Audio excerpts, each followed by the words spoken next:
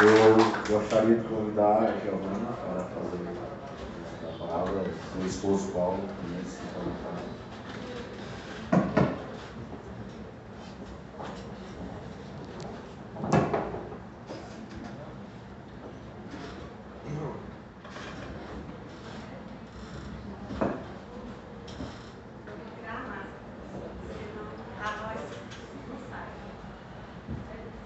Boa noite a todos.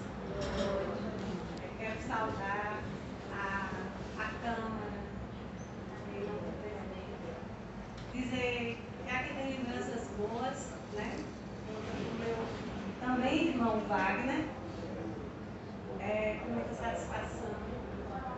Quero saudar Val, prefeito interino, cliente, amigo é, todos os vereadores, todo o pessoal que está aqui, os internautas, a companheira que foi homenageada hoje, e que lindo sua história. E como foi bom é, repartir esse momento com você. É, quero agradecer em especial a minha família. Sem eles, eu não seria nada. Eu sou muito emotiva. E, assim, eu sou uma pessoa abençoada.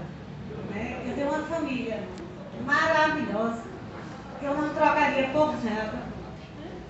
Eu costumo dizer que quantas pessoas não têm mãe, não têm pai, e eu tive dois pais, eu tive duas mães.